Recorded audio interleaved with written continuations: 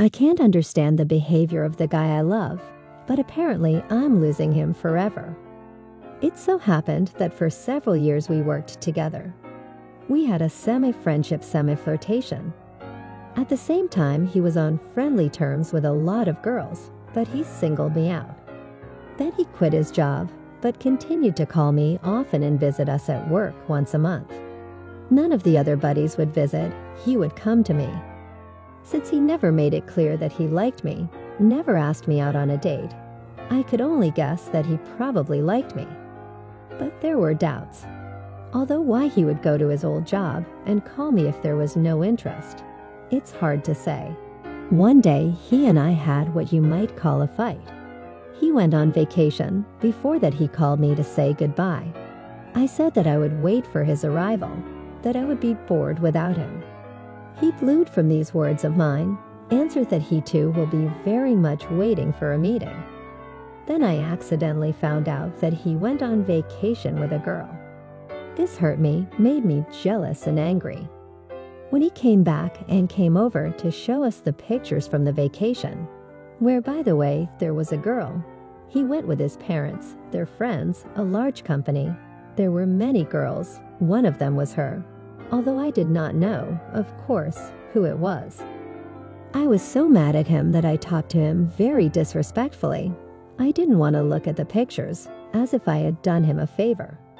He didn't understand what had happened, was unpleasantly taken aback by my rudeness. But I couldn't tell him that I was jealous and that I was angry, that he had, in fact, deceived me. He gave me hope and seemed to be interested in me, while he was resting with someone else. We parted ways after that meeting, very unhappy with each other, and then he disappeared for two months.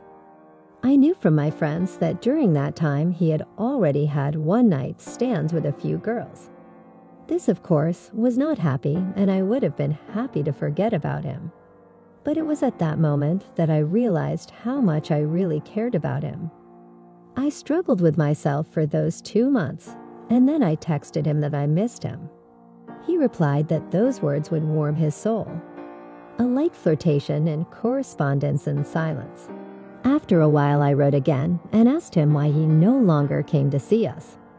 He crumpled and crumpled and promised to come back one day. He kept his word. He came and said he was getting married soon. I had the feeling he stabbed me in the back. The conversation was very strange. We were not alone, as always during his visit. My roommate was present. My roommate and I started asking him about his bride to be he dreamily shared what a good hostess she was, how delicious her borscht was in the multi-cooker. I was shaking with jealousy and pain. I told him some nonsense about the bride, cruelly joked about his intention to marry. He got angry. When I said I should probably start dating or getting married too, he angrily replied, Are you ready for a serious relationship? It sounded like I was a teenager and not old enough to do that.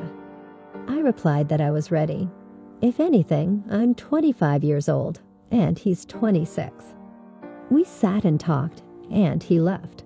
When he left, he turned around at the door, just like in the movies, looked at me for a long, long time, and very slowly closed the door. That look will probably stay in front of me for the rest of my life. So now I'm sitting in tears, and I can't understand why he came at all if he knew that he was getting married. And then I wrote him that I miss him and call him to visit at work.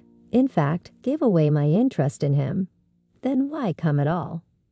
After all, it's obvious that nothing good will come of such a conversation. I'm not happy about it since I have an interest in him. You could have just said over the phone that he was getting married soon. It is clear that after such a message, I would not have insisted that he come. Well, or you could have excused your business and not come at all. What's the point if you're already married to someone else? Yes, and in relation to the bride to be, somehow interesting turns out. Goes to talk to another girl who is already directly to him that he misses. The feeling that he came to say goodbye for the last time, judging by the long look from the door. But then why get married? if I am interesting enough to come and look at me one last time. The girl is new, not the one I went on vacation with, and not one of the ones I slept with. I understand that the first reaction to say, womanizer, and there is nothing to understand. But I love him and will now very hard and long to forget. I want to understand why he came and drilled a glance at me goodbye. What was it? I am writing my confession to speak out. You can't tell your friends that, and I know I have to break up with it myself. But how? He pursues me and winds up the record that I am super mega jealous. He is faithful, and he does not need anyone, and no one will ever give me away. And he's not going anywhere. In the police, love is not a crime. They won't do anything to him.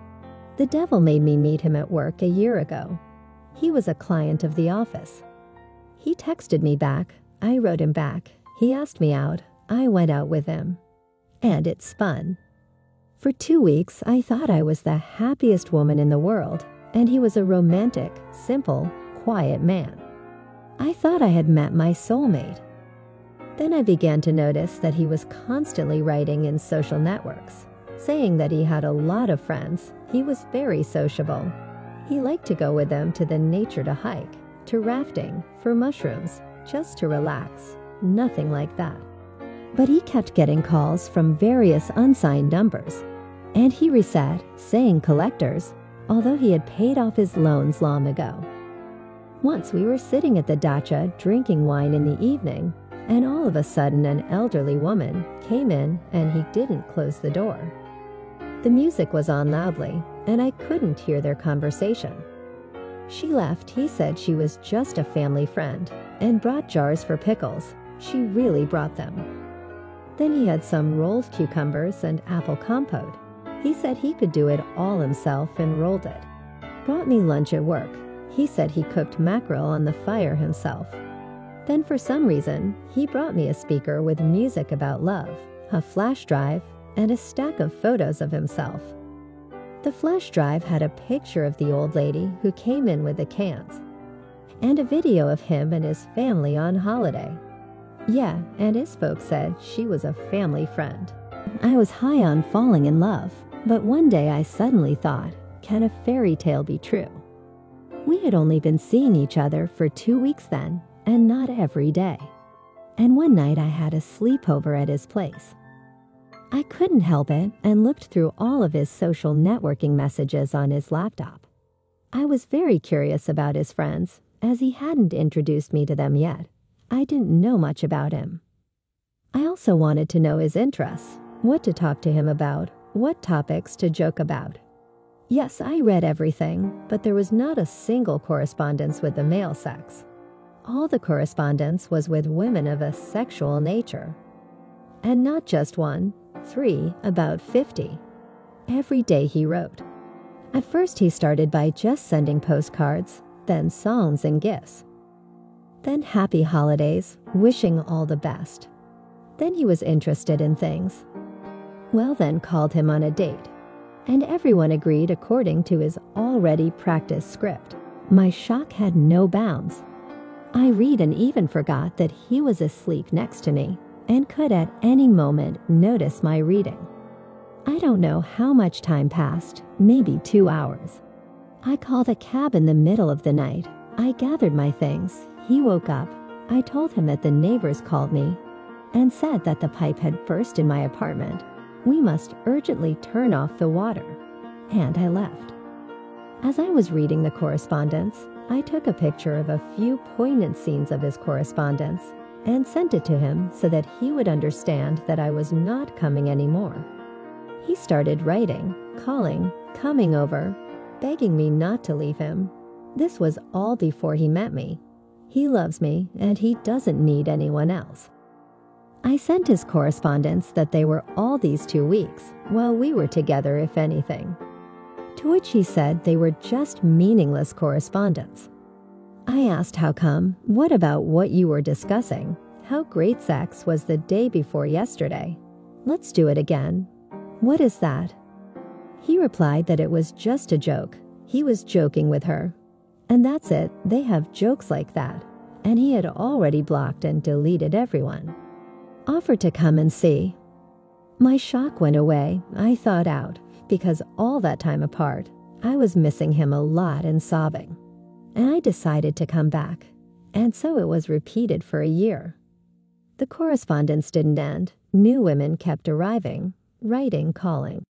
I left, he came back. Now I left again, and again he will come back. I moved into a new apartment, blocked him everywhere, but he still somehow always finds out where I am. I don't know how to get rid of him. Will he talk me into it again, or what? And again, everything will be as it was, no change is expected. And I keep crying, and he keeps walking. By the way, that old lady is his female sponsor. I know you're gonna tell me to leave him. I've quit a thousand times. It's not working, and I can't live like this anymore. And we're not young. He's 50. I'm 43. He wants me to get married and have kids. God forbid. I pray to heaven to deliver me from this obsession, and all in vain. I briefly described everything that happened. If you describe everything he did, you will take a year and read.